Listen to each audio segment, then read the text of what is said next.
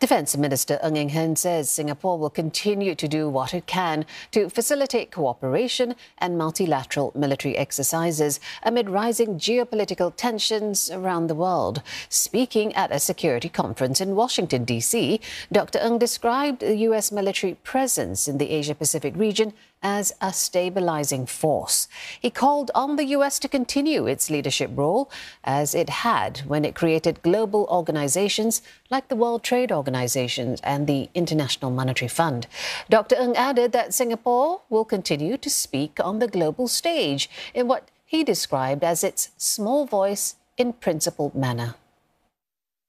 There is a useful role that Singapore can play in tr trying to, if you like, speak truth to power, whether it's America, whether it's China, in trying to craft a global system that works for small states as well as large, that is inclusive, that avoids confrontation, that de-escalates tensions.